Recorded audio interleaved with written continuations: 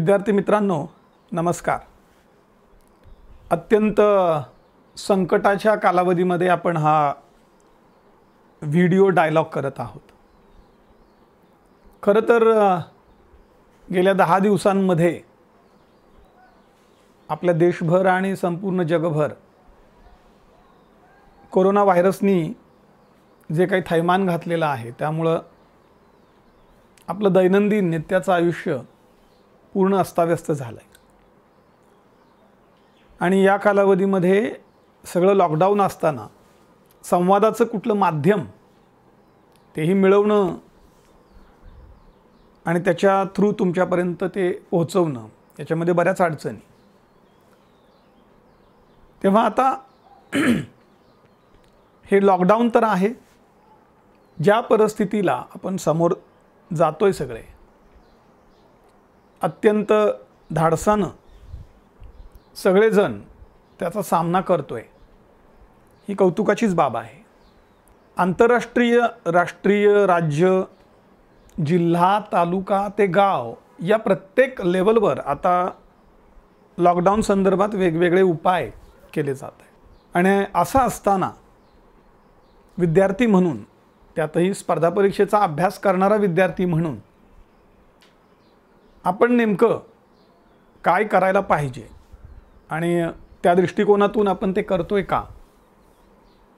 याच्यासाठी म्हणून मग लॉकडाऊनच्या काळात तुमच्याशी संवाद साधावा. या हेतूनं मी तुमच्याशी हे बोलतो आहे म्हणजे आपण याच्यात आधेमध्ये संवाद करत राहू. तुम्हाला वाटलं तर तुम्ही मला मेलच्या माध्यमातून प्रश्न देखील विचारलेत तरी चालतील. तुमच्याकडे पृथ्वी अकॅडमीचा मेल आय डी जवळपास सगळ्यांकडे आहे. त्याच्यावर तुम्ही मेल टाकलात तर तो आमच्यापर्यंत पोहोचेल. म्हणजे info at the rate Prithvi dot net dot in याच्यावर तुम्ही आम्हाला मेल टाकलात तर तो पोचेलच आता झालं काय? आत्ता आपण ज्या परिस्थितीमध्ये आहोत तोपर्यंत राज्यसेवा पूर्वपरीक्षा जवळपास येत्या रविवारी होणार होती. आणि त्याच्यानंतर काही कालावधीनंतर कंबाईन पूर्वपरीक्षा होणार. आपण आपलं जे काही नियोजन केलेलं होतं ते त्या दृष्टिकोनातून होतं. म्हणजेच याच्या पुढच्या टप्प्यासाठी तयारीला लागायचं अशी मानसिक धारणा घेऊन आपण सगळ्या अभ्यास करत होतो.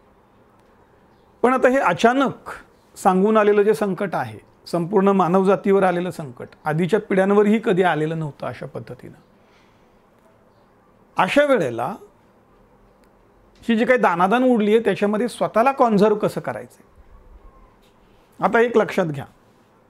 आपल्याकडं जी परिस्थिती आली त्यामध्ये झालं काय?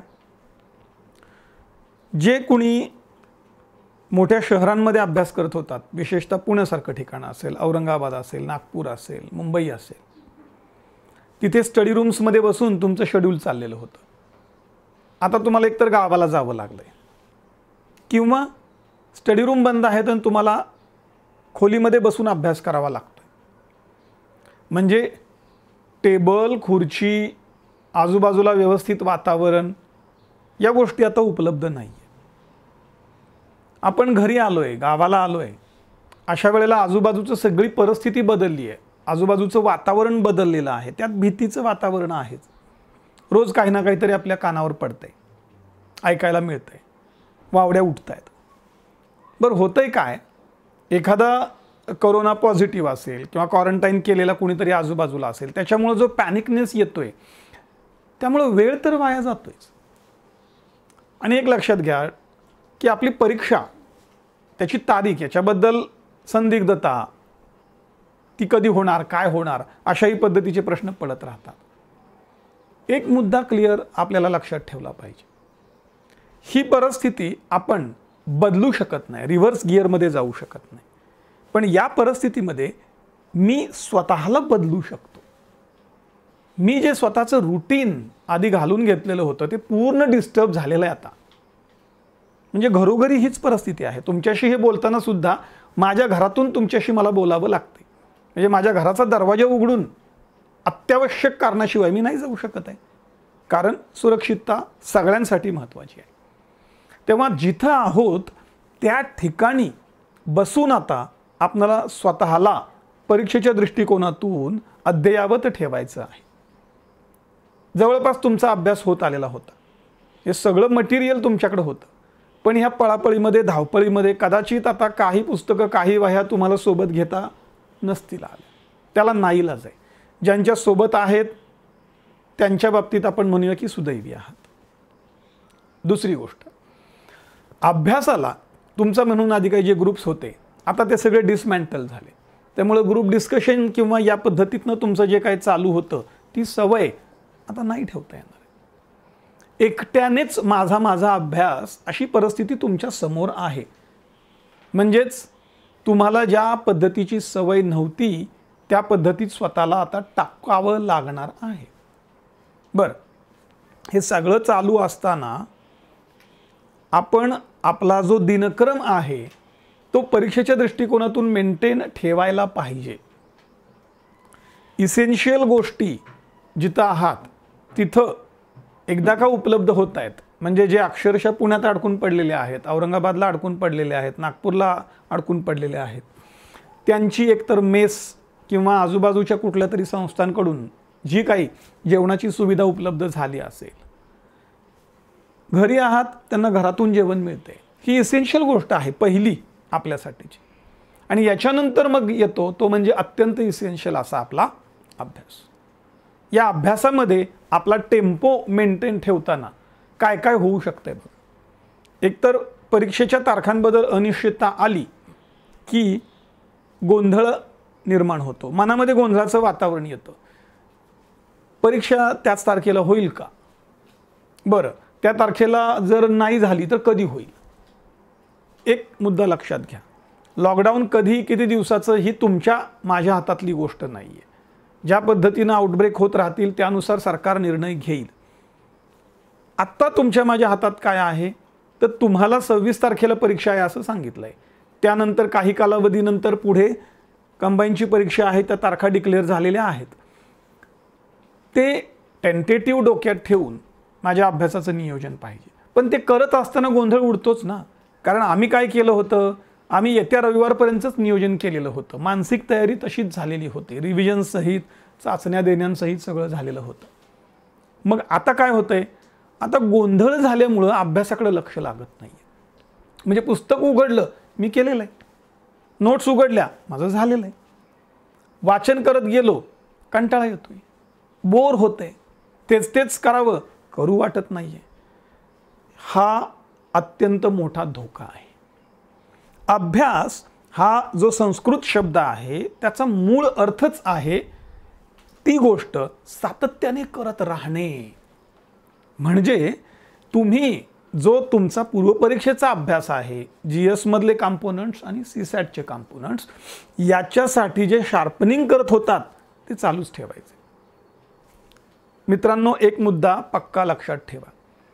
परीक्षा महिनाभर पुढं गेली याचा अर्थ ती परीक्षा आता मला सोपी जाणार आहे असला कुठला भ्रम डोक्यात ठेवण्याची गरज नाही कारण या महिनाभरामध्ये मी आधी वर्षभर जेवढ्या मेहनतीनं काम केलेलं आहे तेवढ्या मेहनतीनं काम करण्याची माझी वृत्ती कदाचित राहणार नाही.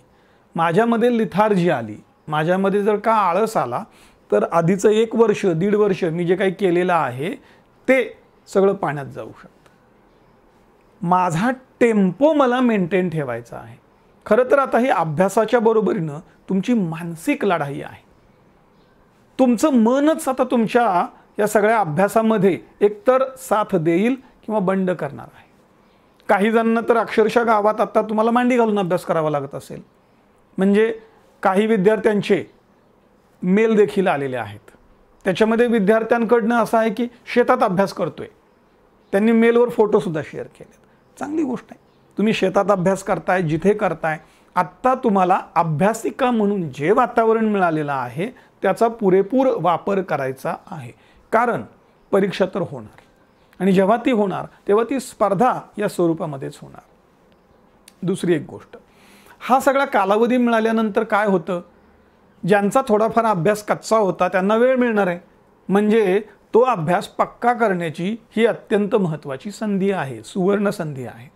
आणि असे विद्यार्थी जे कच्चे होते ते आता पक्के होतील. म्हणजे स्पर्धेमध्ये त्यांची ताकद आता वाढलेली असेल. लिथार्जी येऊन किंवा जाऊ द्या माझं झालेलंच आहे असं वाटून जर आपण शांतच बसू तर मात्र बाकीचे आपल्या पुढं सरकून जातील. आयोगाने त्याची पद्धती ठरवलेली आहे आयोगाची परीक्षा आहे त्यानुसारच ती होणार आहे. फक्त कालावधीमध्ये थोडाफार पुढे मागे होईल. आणखी एक महत्त्वाची गोष्ट. हा अभ्यासाचा टेम्पो मेंटेन करत असताना काही वेळेला आता फ्रस्ट्रेशनही येऊ शकतं. कारण आपण काही गोष्टींचं नियोजन केलेलं असतं आणि त्या नियोजनामध्ये हे सगळं आता विस्कळीतपणा आलेला आहे. हे फ्रस्ट्रेशन येतं कशामुळं? आपणच विनाकारण अतिविचार करत राहतो. प्राप्त परिस्थिती मी जर बदलू शकत नसेल तर त्या परिस्थितीला सामोरं जाणं याच्यासाठीच मला तयारी करता यायला हवी. म्हणजे एक खूप जुनी प्रार्थना आहे मित्रांनो. त्याच्यामध्ये असं म्हटलं जातं की जर जी काही अदृश्य शक्ती आहे तिला ही प्रार्थना करण्यात आलेली आहे. काय प्रार्थना म्हणते ही? ज्या गोष्टी मी बदलू शकतो ते बदलण्याची ताकद मला मिळावी. ज्या गोष्टी मी बदलू शकत नाही. त्या गोष्टींना सामोरं जाण्याची ताकद माझ्यात यायला पाहिजे. आता आपल्याला कुठला पर्याय उपलब्ध आहे? दुसरा. मी जे बदलू शकत नाही आहे त्याला मला सामोरं तर गेलं पाहिजे. हा केवळ सर्वायवलचा मुद्दा नाही आहे तर आपण स्पर्धा परीक्षेचे विद्यार्थी असल्यामुळं सर्वायवल फक्त नसून सर्वोत्तमाकडे आपल्याला जायचं आहे. आजच्या व्हिडिओमध्ये तुम्हाला एक ओव्हरऑल एक जनरल व्ह्यू घेऊन काही गोष्टींशी मला चर्चा करायची आहे किंवा होती असं आपण म्हणूया.